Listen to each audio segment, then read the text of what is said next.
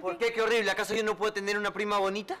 No, pues Lorenzo, pero basta mirar a Pilar y que tú te mires al espejo y... Oh, escúchame, limeñito sin roche. Yo soy recontra churro y te digo una cosa, en Arequipa están las chicas más bonitas de todo el Perú. Lorenzo, cálmate, cálmate. E- En realidad, yo no soy prima de Lorenzo, soy prima de Jimena. Es que mi mamá es prima de mi tía Meche. Eso tiene más lógica. Ah, eres prima de Jimena. Pero qué bien la pasamos, ¿no? Sí, la pasamos muy bien en Boston. Oye, ¿cómo se llamaba tu amiga? ¿Cuál? ¿La chinita? La chinita, una media gordita que se ponía toda la juerga, que nos invitaba a todas partes. ¿Cómo no nos iba a invitar si se moría en plata? Su papá cada rato le mandaba plata, ¿te acuerdas? Claro. ¿Qué habrá sido de ella? Creo que terminó sus estudios y se fue a vivir a Japón. Sí. Ey, ¿Y tú te acuerdas de los lindos momentos que pasamos en Arequipa? ¿Qué? ¿Momentos? No, si yo ni siquiera te conocía. Buen intento, Wilmer. Suerte la próxima. Suéltame.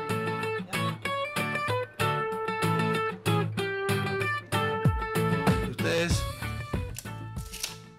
nos iban de viaje? Sí. Pero tuvimos unos inconvenientes. La, la aerolínea cambió de nombre tres veces. Sí, y de dueños tres veces en tres horas, imagínense. Llega, oye. También. Pero mañana, de todas maneras, nos vamos. Sale el avión de todas maneras, ¿ah? ¿Seguro? Sí. Sí. Qué bueno. Teléfono, teléfono, teléfono. ¿Aló? Agarra ahí, agarra ahí. Sí, Fiorella. Ya voy, ya voy. ¿Qué me da esto? ¿Cuándo va a terminar este suplicio?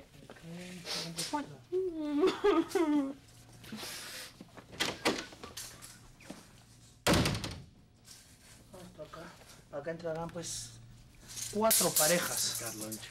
Carlos, ¿qué estás haciendo? ¿Qué estás haciendo, Cuatro Carlitos? Mira, este. ¿Qué estás haciendo? Estoy preparando un pastel. Ah, qué chévere. Me ¿El más grande digas. del mundo? ¿Para qué?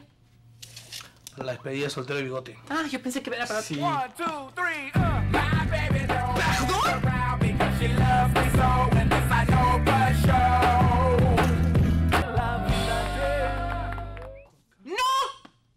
De ninguna manera. Una despedida de soltero, ¡no! Ahí pasan cosas reñidas con la moral. Hay alcohol y mujeres medio calatas y no. Yo no voy a permitir eso, ¿entiendes? ¡No! Eso es lo que más te molesta, ¿no? Las mujeres medio calatas. Ay, ay, ay. ¿Qué pasa? Ya, pues, Carloncho. Es su forma de pensar. Sí, sí, ok. Eh, tienes razón, Marce. Sí, sí, sí, sí. Es un poco retrógrado y hasta cierto punto cavernícola ese concepto de las despedidas. Y siempre mm, suceden cosas amorales, desarreglos, todo el mundo se mezcla. Es horrible, pues, Carloncho. Es horrible. Mujeres juntas. Ugh, terrible, terrible. Horrible. Es por eso que hemos decidido que tu muchacho organice la despedida. ¿Ah? La decisión está tomada, ¿entiendes? Yo no voy... ¿En serio? ¿Quién conoce a Héctor mejor que tú? ¿Nadie? Entonces, Nadie. Organizar la despedida de soltero de mi patroncito. piensa en todo lo que puedes hacer. ¡Oh, my goodness! Tengo Ah. tanto por hacer. La gelatina, los bocaditos, los globitos, los globitos. poner una piñata. De todas maneras, tengo que ver qué cosas puedo hacer. Oye, Carloncho. ¿Tú ¿Qué no le vas a viste? dejar que Marcelo organice la fiesta, no? Por lo visto, tú llevas los pantalones. Eh, bueno, no importan sus cuchilladas. Eh, eso es solo para distraerlo. Claro. La verdadera fiesta que tengo planeada está en mi cabeza. Y la fiesta que tengo aquí va a ser Acá. ¡Te aumentas el Popeyes! ¡10% de descuento! ¡En reducción de mamá!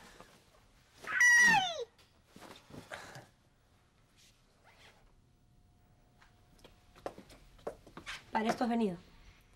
Jimena, ya dejémonos de cosas, ¿ya? Nosotros somos enamorados. Sí, qué bien que lo recuerdas. Menos mal que lo recuerdas. No hables así, tú sabes que te quiero. Pero no lo demuestras. Me engañaste con milagros.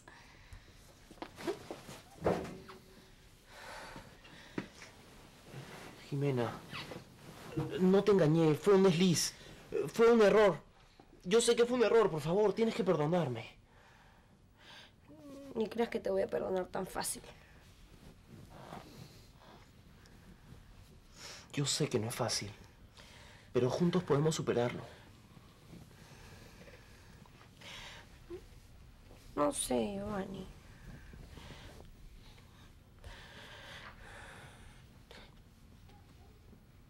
Si me prometes que no fue nada, que fue solo un desliz de una noche y no va a pasar nada más adelante. Nada más adelante, nada más adelante, te prometo. Fue solo un desliz. Por favor, olvídalo. Bórralo de tu cabeza. A mí también me costó un montón olvidar lo tuyo con Rafael. Oye, con Rafael no pasó nada. Bueno, pero te equivocaste, igual a lo que me pasó a mí con Milagros. Giovanni, con Rafael yo me encontraba de casualidad. Tú te agarraste a la empleada de tu casa. ¿Qué has dicho? Sí, ¿qué no vas a comparar? Te agarraste la empleada.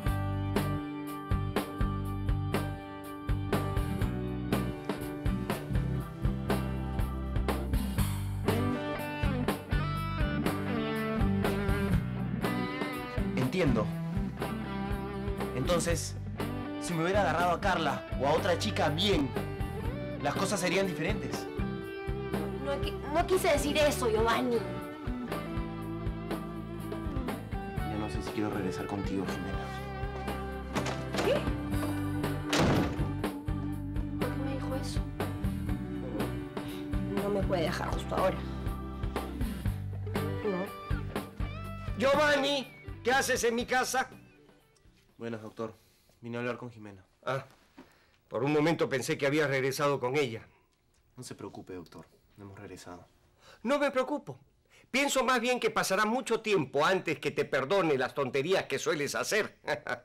Doctor, su hija es una engreída que no piensa más que en ella misma. Y por el momento no tengo ningún interés en regresar con ella. Chao.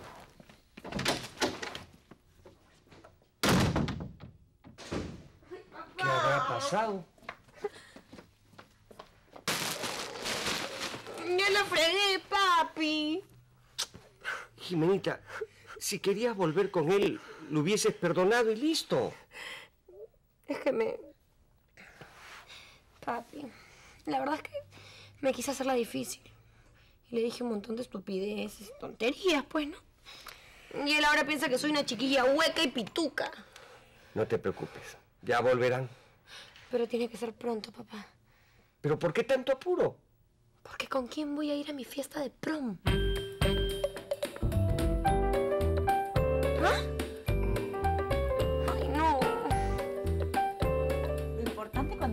Chica linda es saber que lo eres y hacer que los demás lo sepan. Hazte notar. Solo así te pones en el lugar que te pertenece.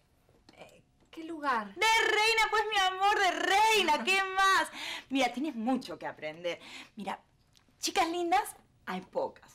Y más en esta residencial donde hay puro monstruo, mostra y rascuache. Pero también hay gente muy buena. ¿Y eso qué importa? No, no, ya fue, tache. Tú tienes que ser